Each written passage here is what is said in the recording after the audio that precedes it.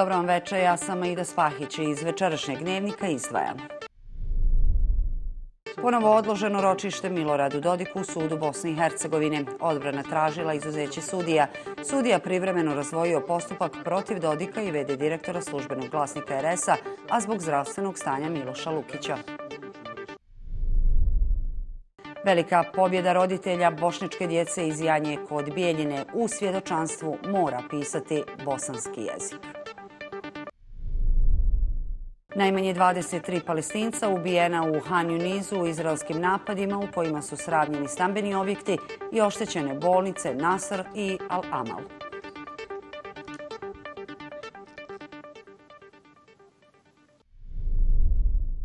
Ročište koje je danas trebalo biti održano u sudu Bosne i Hercegovine u predmetu protiv Milorada Dodika ponovo je odloženo. Dodikova odbrana danas je imala i novih zahtjeva, to je izuzeće sudija. Desetine pristalica Milorada Dodika stigle su pred sud BiH i pokazale da će njegovi cirkusi uvijek imati publiku. Prvo su stigle Dodikove stranačke kolege. Dobar dan, ljudi. A onda i sami lider SNSD-a, očigledno u dobrom raspoloženju. Ročište Miloradu Dodiku ponovo je otkazano. Odbrana predsjednika RS-a tražila je izuzeće sudije Mirsada Strike i još sedam sudija koji rade na ovom predmetu. Sudija Strika je odlučio razdvojiti postupak protiv Milorada Dodika i Miloša Lukića zbog narušenog zdravstvenog stanja VD direktora službenog glasnika RS-a. Sudija je odložio zato što je bez ikakvog razloga podijelio postupak, time dokazao da je da sam ja cilj i da je eliminacija predsjednika Republike iz političkog života glavni cilj koji se ukupno ovoj aferi. Optužnica je kamuflirana sa dva optužena. Kobajagi, da bi se izbjegao stvarni cilj. Mi danas vidimo kako pada maska da zbog jednog prijedloga da se odloži ročište iz zdravstvenih razloga e, drugo optuženog i taj prijedlog je dokumentovan relevantnom medicinskom dokumentacijom, razdvaja se krivični postupak, iako imamo zakazano suđenje za narednu srijedu. Dodik tvrdi da su tužioci napravili ništavilo, te da su sud i tužilaštvo politički instruisani. Iskoristio je priliku još jednom kriviti strance. Imao sam priliku da i odlučio sam prvi put da se obratim gospodin sudiju i da mu kažem da je Ustav Republike Srpske usaglašen sa Ustavom Bosne i Hercegovine i da je saglašen sa Dejtonskim mirovnim sporazumom. Dakle, neko očigledno želi iz političkih razloga da ogura dalje. Mi vidimo tu nevidljivu ruku koja upravlja tužilaštvom, koja upravlja i sudom i koja pokušava da zavadi narode u Bosni i Hercegovini i upravlja novom krizom, da se otme imovina i da narodi se međusobno zakrve umjesto da zajedno sarađuju i da zajedno krenu putem razvoja. Što se tiče Milorada Dodika, nesporno je da nema pukotne ni u njegovom timu odbrane, ni u narodu u Republike Srpskoj, ni u institucijama, ni u nama koji smo zajedno u koaliciji sa njim. Dodik je uvjeren u oslobađajuću presudu. A kada cijeli postupak bude završen, najavio je tužbu protiv države Bosne i Hercegovine. Ta Bosna i Hercegovina vjerujem da će morati da plati visoku novčanu kaznu za ovo e, nesposobne, aljkave, E, e, tužioci koji nemaju snage, koji nisu u kapaciteti, koji nemaju karaktera. Dodik kao Dodik ponovo je prijetio odcijepljenjem, što nije ništa novo. Uvjeren je da ga nećemo vidjeti u zatvoru, barem ne po ovom osnovu. Možda neki sudija i odsvira kraj. Advokat Haris Kaniža, koji je zastupao grupu roditelja iz Janje, objavio je na svom Facebook profilu da je osnovni sud u Bijeljini donio presudu u korist roditelja i djece. Prema odluci suda u svim dokumentima učenicima se mora upisivati bosanski jezik kao maternji. Kaniža je preuzeo ovu borbu gotovo prije dvije godine kada je grupa roditelja iz Janje dala punomoć advokatu da ih zastupa zbog zabrane nazivanja i upisivanja maternjeg jezika kao bosanskog jezika u školi u Janji koja se nalazi kod Bijeljine. Advokat je podnio tužbu protiv BH entiteta RS i matične škole, a osnovni sud u Bijeljini je konačno donio presudu u korist bosanskog jezika. Sud je utvrdio da postoji diskriminacija koju vrši Republika Srpska, da su bošnjačka djeca tretirana neravnopravno u ovom slučaju, te da je došlo do povrede prava na jednako postupanje. Sud je također naredio RS-u i školi da ukloni diskriminaciju, te da osiguraju pravo upotrebe bosanskog jezika kao maternjeg jezika u svim dokumentima. Također, naređeno je da prestanu sa dosadašnjim postupanjem. Visoki predstavnik već danima pričamo dao je još jednu šansu političarima u Bosni i Hercegovini da se uozbilje i da se dogovore o izmjenama izbornog zakona. Upravo zbog toga trebaju se sastati predstavnici vladajuće koalicije jer o ishodu predstojećeg sastanka zavise i njegovi naredni potezi. Teško je da se nešto novo može desiti s obzirom da su stavovi predstavnika RS-a vrlo jasni. Kako je sam visoki predstavnik rekao, Milorad Dodik i njegovi partneri iz Republike Srpske ne drže korak sa ostalima. U ponedjeljak u Bosnu i Hercegovinu dolazi i predsjednica Evropske komisije. Prije sastanka sa koalicijonim partnerima iz Republike Srpske sastali su se lideri stranaka Trojke. Sad se napravilo od toga fama dan D. E, pratimo naravno i mi imamo i komunikaciju s uredom e, visokog predstavnika. E, za nas je dan da je sjednica Doma naroda na kojoj treba da se potvrdi ili ne potvrdi zakon koji je dobio podršku u predstavničkom domu. Nekad smo sretni sa odlukama OHR-a, nekad nismo, nekad smo jako nesretni. Idealno e, trebamo sami preuzeti odgovornost i donositi svoje zakone. Predsjednik naroda i pravde Elmedin Konaković najavio je sastanak sa HDZ-om i SNSD-om u pokušaju da se dogovore tehničke izmjene izbornog zakona. Objasnio je da je po njegovom mišljenju to realno moguće i lako ostvarivo, ali da ipak on nije optimista. Mi insistiramo na izmjenama Ustava jer nema kvalitetnih izmjena izbornog zakonodavstva bez otvaranja mogućnosti da se Srbi u federaciji, Hrvati, Bošnjaci u Republici Srpskoj građani koji se etnički ne izjašnjavaju u cijeloj Bosni i Hercegovini napokon mogu kandidovati za člana predsjedništva svoje zemlje. Podsjećam odmah nakon najava Šmita da će nametnuti izmjene izbornog zakona, reagovali su iz Republike Srpske, a Dodik je tada rekao da će Republika Srpska usvojiti svoj izborni zakon i sprovoditi izbore na svojoj teritoriji bez centralne izborne komisije Bosne i Hercegovine. Naši sagovornici također nisu optimistični kada je u pitanju dogovor državnih koalicijonih partnera. Ako neće doći do bilo kakvog dogovora, ovdje će biti neizvjesno da Schmidt opet intervenira kroz tu ideju da je potrebno jačati sam integritet e, izbornog zakona o Bosne i Hercegovine. Znamo da imamo puno problema kad pričamo o identifikaciji birača i elektronskom brojanju glasova. Znamo i da su politički pritiski na izborne komisije jaki i da na neki način imaju političke partije u Bosni i Hercegovini puno neke snage kad pričamo o samom procesu izbornog e, izbora.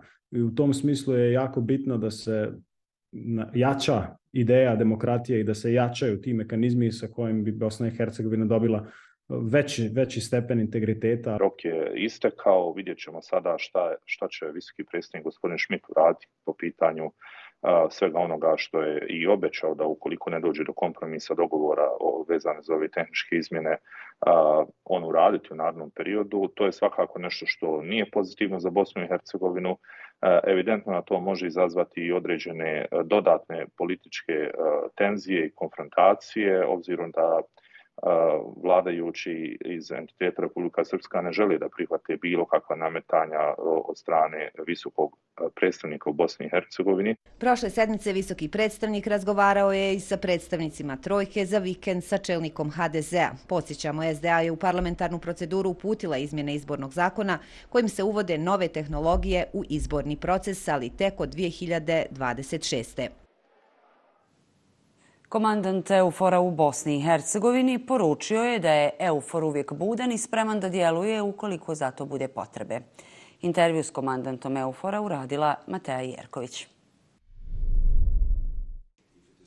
General major Helmut Habermajer, komandant Eufora u Bosni i Hercegovini, zao kanal sumirao je godinu iza nas, svoj mandat i ključne događaje. Šta ste na funkciji komandanta Eufora u Bosni i Hercegovini uradili za našu zemlju? Well, uh, first of all, I want to mention that UFO is here Prije svega želim napomenuti da je EUFOR ovdje kako bi garantovao da osjetljive sigurnosne situacije neće prerasti u opasne.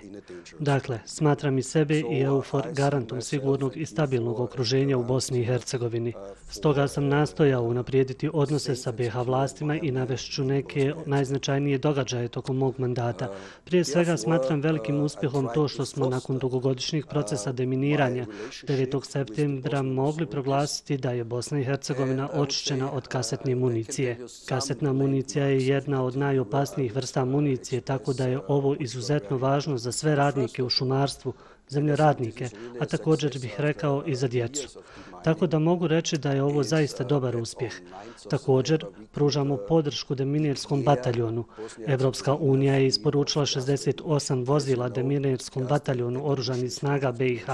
Od tog broja 34 su dobro opremljena, moderna sanitetska vozila, a 34 transportna. Moram spomenuti da smo veoma uspješno provodili inspekcije u agencijama za provedbu zakona, jer je bilo glasina da policijske snage kupuju oružje. Izvršili smo inspekciju 30.000 komada oružja na 300 lokacija, sve do nivoa svake policijske stanice.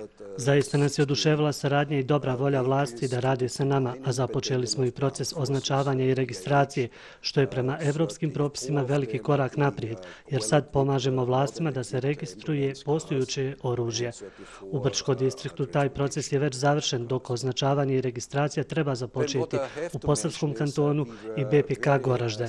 Kada uz to uzmemo inspekcije oružja oružanih snaga BiH, rekao bih da je EUFOR jedina institucija u BiH koja ima potpuni uvid u zvanično dostupno oružje u ovoj zemlji. I za kraj, ali ništa manje važno, mogu spomenuti da smo 11. januara bili u prilici potpisati ugovor o unapređenju zrakoplovne sigurnosti kroz investiranje 360.000 eura u modernu zrakoplovnu komunikacijsku mrežu kojom će se uveliko poboljšati sigurnost letova. Sve navedeno je jako dobro. U kojoj mjeri EUFOR i NATO zapravo sarađuju u Bosni i Hercegovini i koliko je ta saradnja ključna za osiguranje sigurnog i stabilnog okruženja? So as you know, uh, uh, EUFOR is the only uh, Kao što znate, EUFOR Altea je jedina misija koja se provodi u skladu sa sporazumom Berlin Plus. Šta je sporazum Berlin Plus? Radi se o nizu sporazuma između NATO-a i Evropske unije prema kojima Evropska unija može koristiti sredstva i kapacitete NATO-a za svoje operacije upravljanja kriznim situacijama. Ova saradnja postoji od uspostavljanja EUFOR-a, s tim da je 2017. godine tako reći došlo do podjele poslova između EUFOR-a i NATO-a. NATO je od tada započeo sa izgradnjom kapaciteta odbranbenih snaga BiH kao i sa organizovanjem obuka za oružane snage BiH.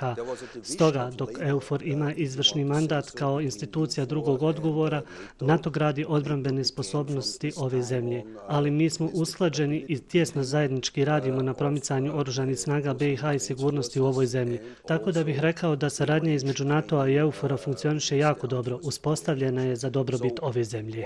Koliko je važno za Bosnu i Hercegovinu da napravi intenzivniji iskorak prema Evropskoj uniji? I would say if uh, Bosnia and Herzegovina wants to rise its living conditions uh, uh, throughout the years, Rekao bih da ako Bosna i Hercegovina želi podići životni standard u narednim godinama, treba djelovati jer nema drugog načina već da se što prije pridruži Evropskoj uniji. Primarily former Eastern Bloc countries, Kao što smo vidjeli kod drugih zemalja, uglavnom bivšeg istočnog bloka u kojima je u roku od 10 godina nakon pridruživanja Evropskoj uniji životni standard nevjerovatno porastao, tako bih snažno preporučio i BH vlastima da radi na tome.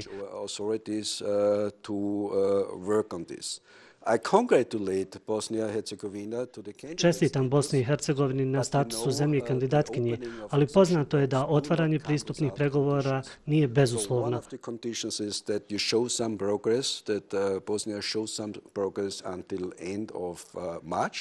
I think then there will be a decision about the accession talks.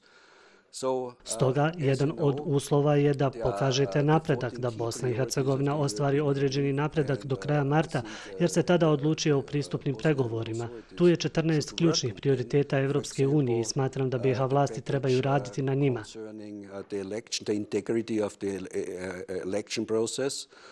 The jurisdiction Na primjer, paket koji se odnosi na integritet izbornog procesa, jurisdikciju, također i na slobodu medija, sve što se može naći u 14 ključnih prioriteta. Trebate udružiti sve napore u Bosni i Hercegovini na ostvarenju određenog napretka kako bi se pristupni pregovori otvorili.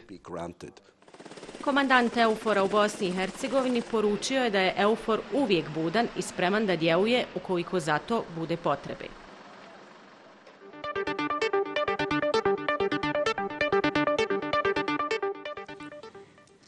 Najmanje 23 palestinca ubijena su u Han Yunizu u izraelskim napadima u kojima je sravnjeno desetine stambenih objekata i oštećene bolnice Nasr i Al-Amal.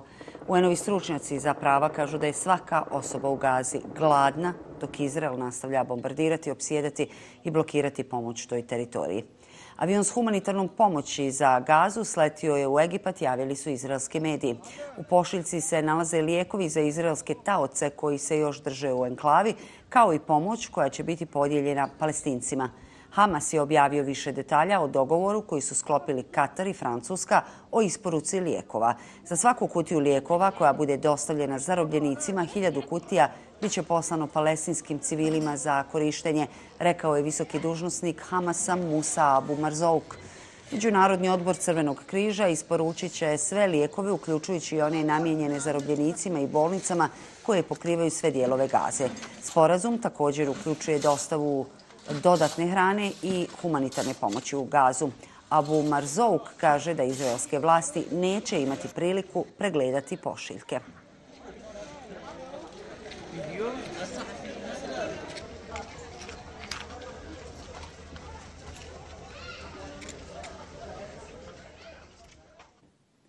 Zapadna provincija Ishikawa u Japanu, koju su početkom januara potresli jaki zemljotresi, pod snježnim je pokrivačem, dok i dalje traju napori u saniranju štete. Područje zemljotresa pod snijegom podsjeća na grad Duhova. I iz ureda guvernera i navedeno je da je broj smrtnih slučajeva u zemljotresima koji su se dogodili na poluostrvu Noto i njegovoj obali početkom januara porastao na 232. Saopćeno je da je oštećeno više od 22.300 objekata. Povrijeđeno je 1037 osoba. Oni su zbrinuti dok se nastavlja potraga za 21 osobom.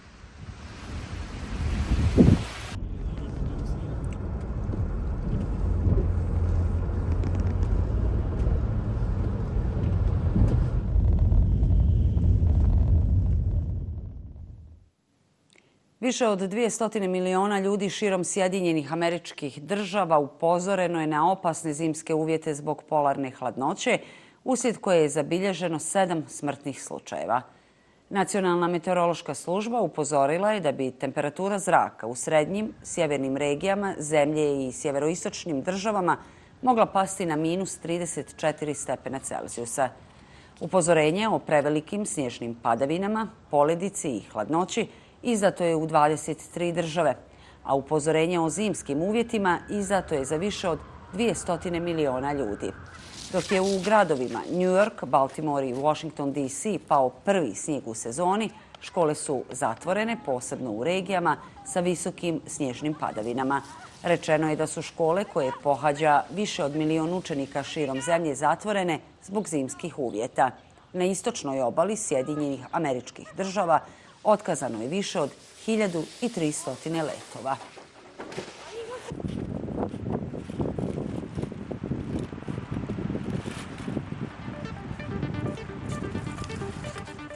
A ni u Evropi ništa bolje vremenske prilike. Ledena kiša i snijeg okovali su Njemačku, te su otkazani brojni letovi. Što se tiče Bosne i Hercegovine, za sutra su izdata upozorenja na vjetar koji će u nekim dijelovima zemlje puhati do 80 km na sat.